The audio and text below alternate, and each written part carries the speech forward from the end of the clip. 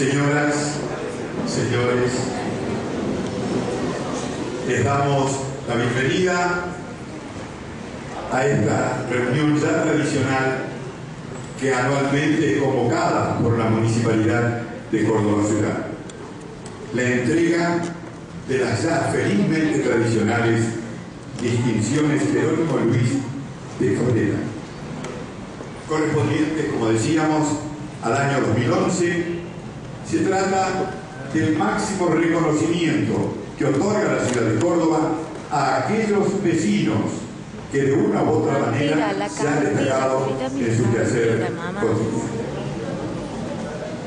Ya que no hace nada, cuídamela.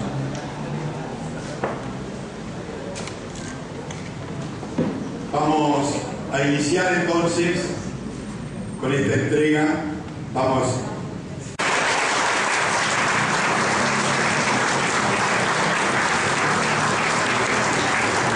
Aldo Guisardi como trabajador profesional de los medios en el año 1972, ganando un concurso en LT2, Radio Espléndida Rosario, como locutor suplente.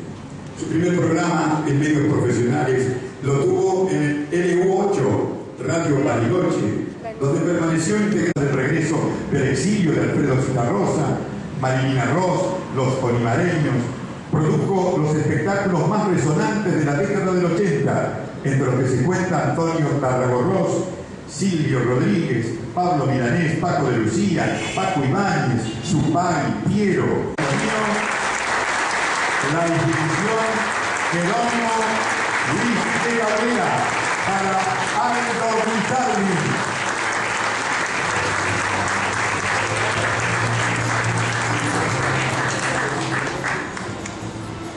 Bueno, muchas gracias. La verdad que este es el premio más querido porque es de ciudad. Gracias, acreedor. A la institución Jerónimo Luis de Cabrera, que forma la Municipalidad de Córdoba Ciudad.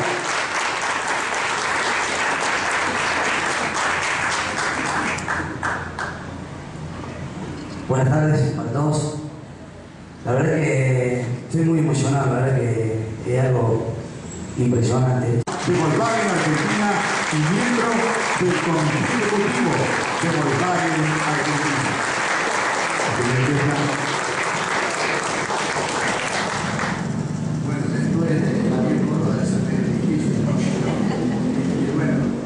Quisiera en nombre de Volkswagen agradecerle al señor Intendente esta distinción. Jerónimo Luis de Cabrera, edición 2011. Para la pizzería Don Luis.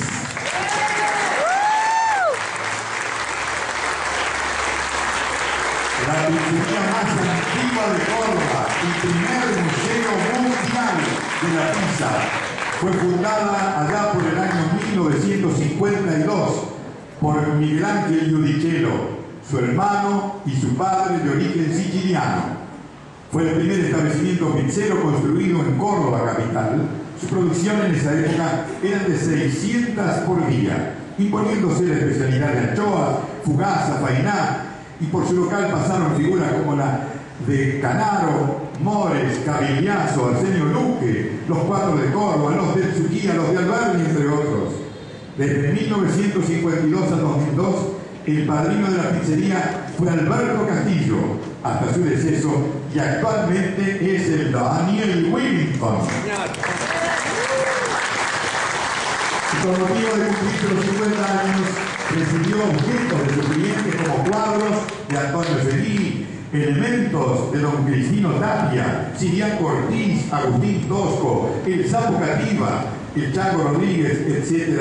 Y por esta razón se creó la denominada pared de oro, digna de ser visitada. Distintos hechos ocurridos en el tiempo donde las pizzerías y los protagonistas fueron reflejados por distintos medios, Canal 7, Telefe, Crónica TV, el Canal 23, el Diario La Nación, Diario Clarín y todos los medios de Córdoba. Actualmente funciona en el local la Asociación Amigos Museo de la Segunda, que colabora estrechamente con otros museos como el General Pérez y la Casa de Pepino. En el año 2006 se edita el libro Sabores de Córdoba junto con la Fundación Navidad.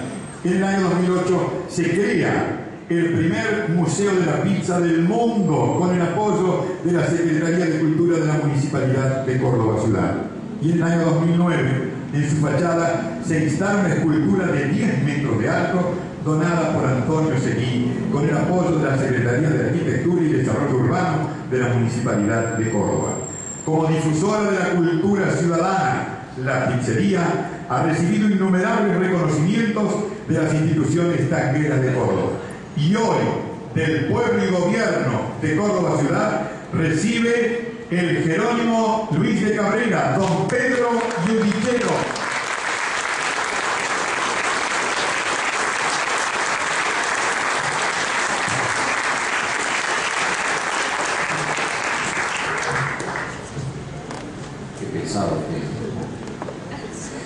Bueno, buenas tardes a todos. Gracias por venir a nuestros clientes de toda la vida, nuestros amigos, a todas las instituciones de tango que hoy nos acompañan, como siempre lo han hecho, a la Asociación de Tango, a la Academia de Tango, al Ateneo Danguí de Tango, a vos, Pinta, también, que hace poco te han dado este premio. A todos ellos les agradezco porque siempre han estado con todos nosotros. En primer lugar, quiero dedicar este premio muy importante para todos los cordobeses a mi familia, a mi abuelo, a mi padre, que fueron fundadores de esta empresa, que ya está a punto de cumplir 60 años, a Silvana, mi señora, a Estefanía, a Alesia, mi hija, por todo el aguante que me dan siempre, a todos los proyectos que hacemos, algo muy especial para mí, el maestro de Pablo, que lo tengo aquí enfrente mío, con 50 años de trabajo dentro de nuestro negocio, un pionero realmente, un ejemplo, aquí un ejemplo de trabajo, de amor y vocación a lo que hace. Gracias maestro. También otro gran maestro que no solamente ha sido de los estadios, sino también un amigo y un promotor también de la cultura dentro de la pizzería, que es nuestro padrino Daniel Willington. Él siempre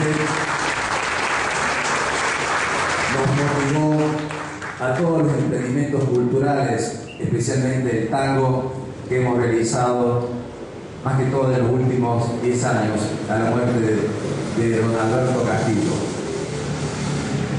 De ya intendente, le quiero agradecer por el premio por reconocer en cierta medida con esto a la cultura popular de Córdoba, porque eso es lo que representamos. Muchas veces la cultura popular de Córdoba ha sido dejado de lado, como muchas veces ha sido el cuarteto, ¿verdad? Como muchas veces ha sido el tango.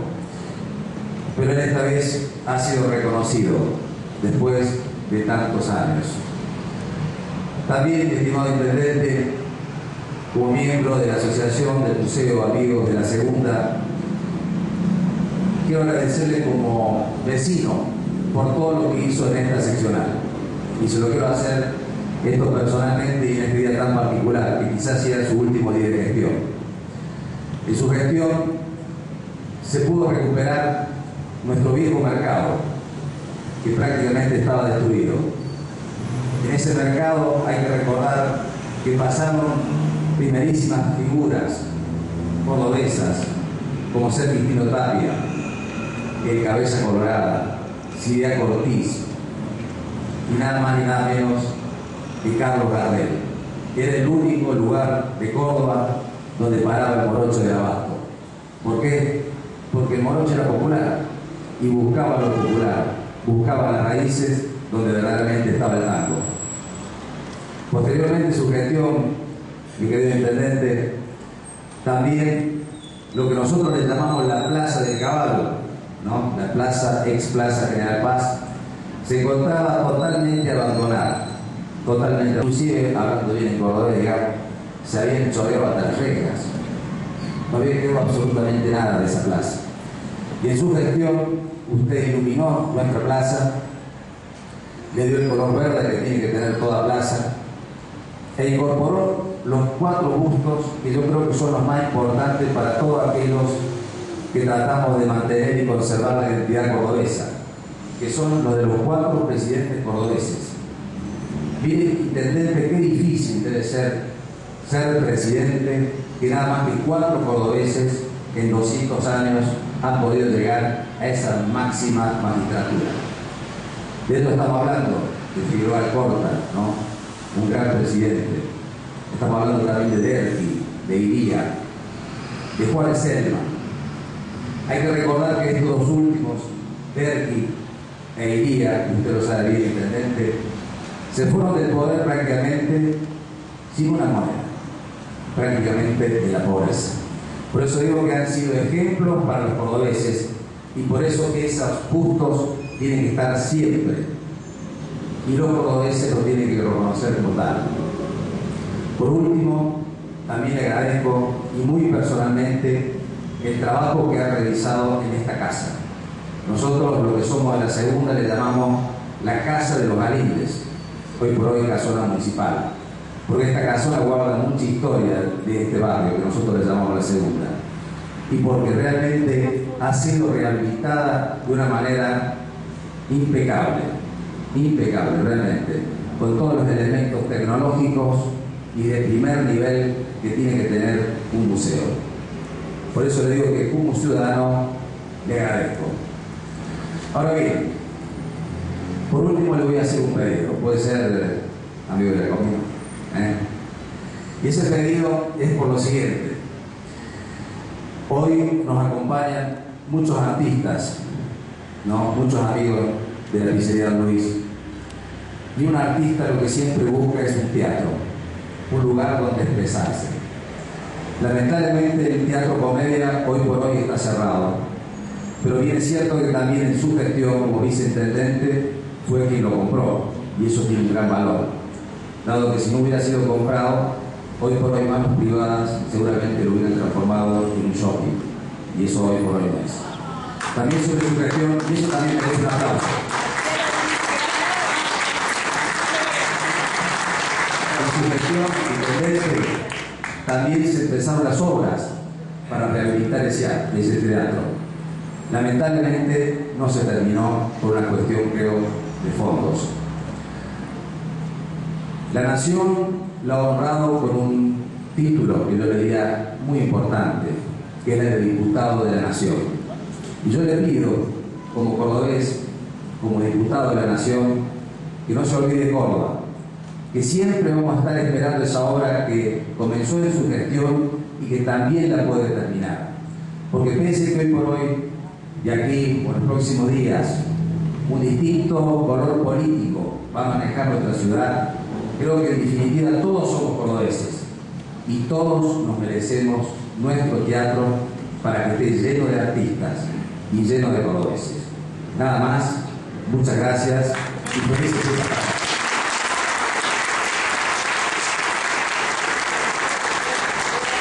concepto de Pizzería Don Luis. Y ahora se hará entrega